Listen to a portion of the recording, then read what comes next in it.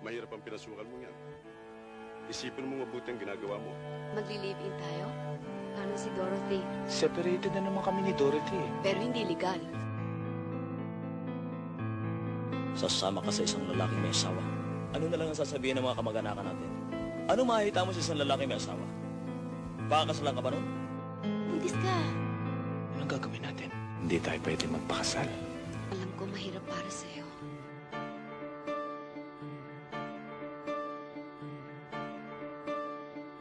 Pag nawala ka, ewan ko kung anong gagawin ko.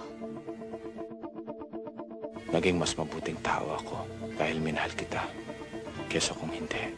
Nakakainis na yung submission ninyo eh. Para kayong mga chimay. Wala na akong ginawa kundi magluto, linis ng bahay. Hindi na yata ako makakatagal ng ganito. Ano ba bang kailangan mo? Lahat naman ang kailangan mo eh. Binibigay ko sa'yo. Ano pa ba ang gusto mo? Ang hirap dito sa relasyon natin. Puro ikaw ang nasusunod. Kung saan tayo pupunta. Kung anong oras tayo aalis. Kung anong susuot ko sa lahat ng oras. Mahal kita eh.